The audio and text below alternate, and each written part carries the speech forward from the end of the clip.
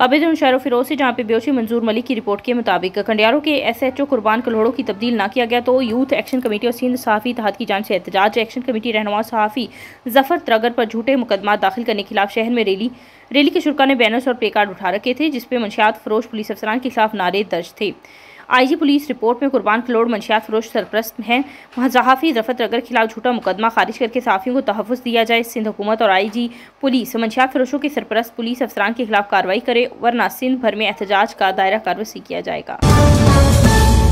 खबर दिन बाप को साहिवाल से गुलफाम हैदर कुरेशी के मुताबिक साहिवाल डिप्टी कमिश्नर इकरामुल हक ने कॉलेज चौक में सफ़ाई निसफ ईमान प्रोग्राम के तहत पंद्रह रोज़ा सफ़ाई मुहिम का अफ्ताह किया, जिसके तहत ज़िले भर में सफ़ाई को यकीनी बनाया जाएगा। Chief officer municipal corporation Kashif Mahmood समेत सेंट्री, स्टाफ की बड़ी तादाद भी मौजूद थी। इस मौके पर गुफ्तु करते हुए डिप्टी कमिश्नर इकरामुल हक ने कहा कि सफ़ाई सिर्फ़ हम सब की ज़रूरत ही नहीं, बल्कि मजहबी फरीदा भी है। सफ़ाई सफ़ाई रखना हम सब की ज़िम्मेदारी है। उन्होंने शहरियों से अपील की, कूड़ा करकट खुली जगहों और गली मोहल्लों में फेंकने की बजाय कूड़ा दान में डालें। जिम्मेदार शहरी होने का सबूत दें।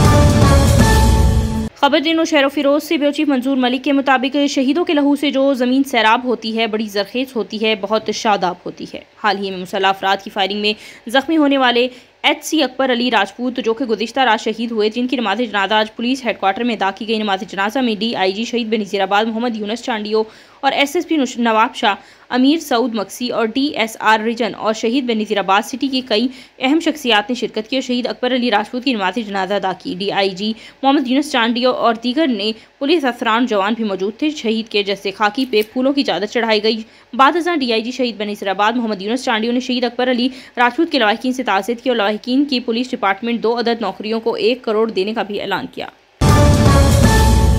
खबर थी मोरो से, जहाँ पे ब्यूरो चीफ सिंधी अल्ताफ सोमरो के मुताबिक थाना दर्ज के करीब बैंक से ली गई गाड़ी को घेरे में लेकर खैरपुर पुलिस ने सिविल ड्रेस पहने हुए अफराद के साथ मिलकर अमले के कपड़े फाड़ दिए। उन्होंने बताया कि हमारा ताल्लुक कराची से और अब्दुलरशीद नामी शख्स से टोटा ली थी बैंक से।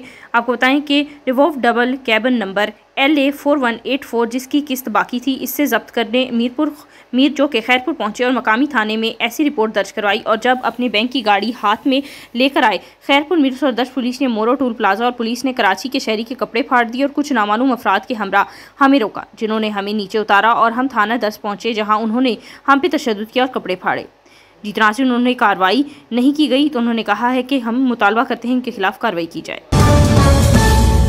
खबर शहर फिरोज से ब्यूरो चीफ मंजूर मलिक के मुताबिक director operation P D M A Imdad Hussain Siddiqui आज हाई कोर्ट सक्कर बेंच की हदायत पे दो रोज़ा दौरे पर नौशहर फिरोज पहुँचे। उन्होंने हाई कोर्ट के अहकाम की रोशनी में बारिश के पानी की निकासी के लिए कायम की गई। कमेटी के मेबरान के साथ मनक़दा इजलास की सदारत की। इस मौके पर deputy commissioner Naushahro Feroze Shahzeb Sheikh, additional deputy commissioner Saeed Ammar Hussain और दीगर भी मौजूद थे।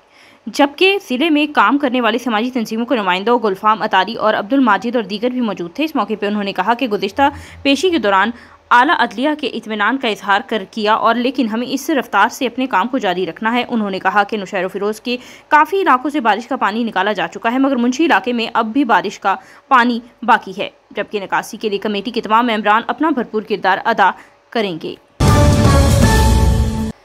खबर ने ब्यूरो चीफ खालिद सदुजई की रिपोर्ट के मुताबिक जीतनासीन आईजी पंजाब डॉक्टर उस्मान अनवर की हदायत पर डीपीओ रजा सफ्तर कासमी ने मेहनत, मजदूरी और दीगर खसूसी अफराद की सहूलत के लिए ज़िले में पहली तहफ़ सेंटर बनाए। आपको बताएँ कि वॉलरेबल और इसके अलावा इंस्टाज और इसके अलावा ट्रांसजेंडर को अफ्ताह किया है। पुलिस थाना सिटी मुजफ्फरगढ़ के पास कुत समात और गोयाई से महरूम बच्चे और ख्वाजा सिरा शहानाबाद से कराया। इसके अलावा बताते चलें कि आईजी पंजाब और डॉक्टर उस्मान अनवर और डी डीपीओ रजा सफदर काजमी का खसूसी शिरकत और शुक्रिया अदा।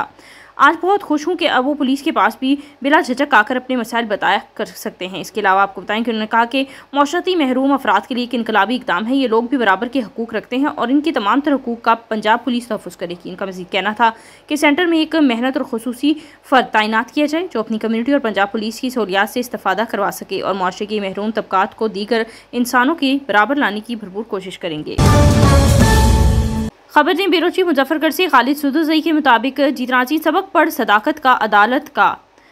शुजा का ऐसी ही सदाकत की नमूना मिसाल एक इंतहाई गरीब मजदूर और मासूर मोहम्मद कासिम की तीसरी क्लास की बेटी राबिया कासिम ने कायम कर दी। मुजफ्फरगढ़ के इलाके कस्बा गुजरात के नवाही इलाके government primary girls school Darkhan Wala की तालबा को स्कूल से जाते हुए रस्ते में पड़े हुए तलाई झुमके पड़े मिले। तलाई झुमकों को तालबा राबिया ने उठाकर घर रख दिया। अगले दिन स्कूल की headmistress headmistress madam Shabana Faiz के पास खातून आई। वो रोते हुए कह रही थी कि मेरा तलाई झुमका कहीं गिर गया है। आप स्कूल की बच्चियों से पूछकर बताएँ, किसी को मिला हो तो।